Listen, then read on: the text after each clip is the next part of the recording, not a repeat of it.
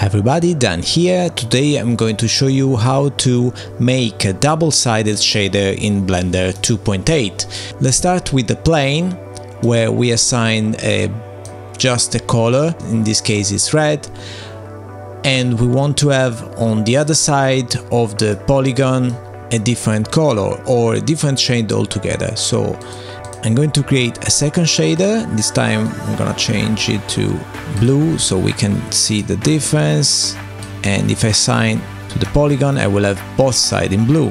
So what I need is a mix shader. Well, each shader will be assigned to one of the node. With the mix shader, the shader is gonna be mixed, so mixing this red with the blue, I'm gonna have course some kind of purple changing the FAC of course I can have more of one or more of the other. What we'll need is something connecting to the FAC that will define which shader is showing depending on the side of our polygon. So let's add another node geometry node and this geometry node we're gonna select backfacing into the faction and now you can see you have the magenta on one side and blue on the other side. There are not so many objects that are so thin, so you may want two different shaders on the side of uh, a geometry. But for example, if you are modeling some money, and I have already some texture of a note, let's use the color on one side, and as you can see, I have my $10 note here and on the other side I have just the blue and then I use another texture on the other shader and now I have my note. And this is also the quickest way to make money with Blender. Using the same technique I'm going to show you this other example, which is a box that has two material and I used the same technique, so geometry, backfacing, channel into the FAC with two different material, the white for inside and the red from the external. But if you want a geometry that looks like this one, where we have some thickness See, we have some thickness while the other one has only one face, there's no thickness at all.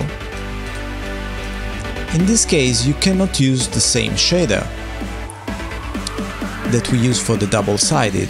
This is not a double-sided material. This is an object with two different material assigned in different part of the object.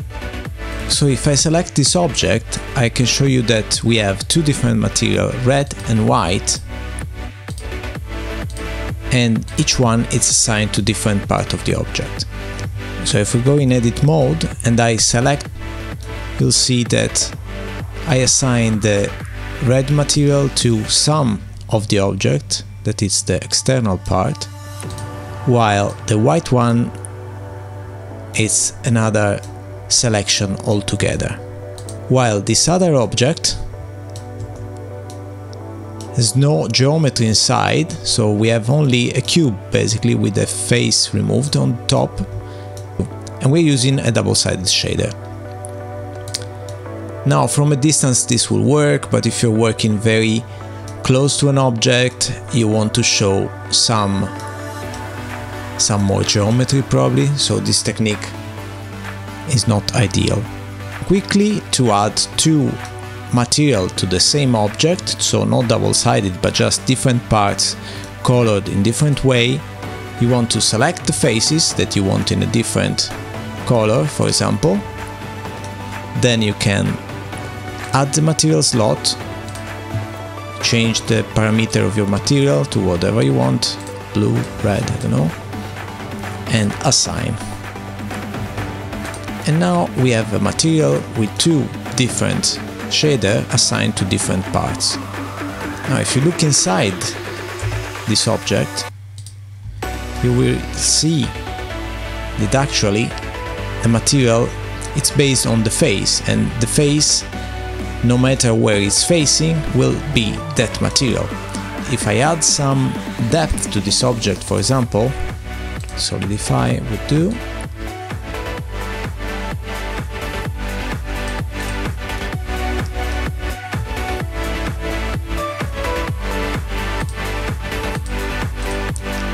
you can see that I have different material assigned to the whole object.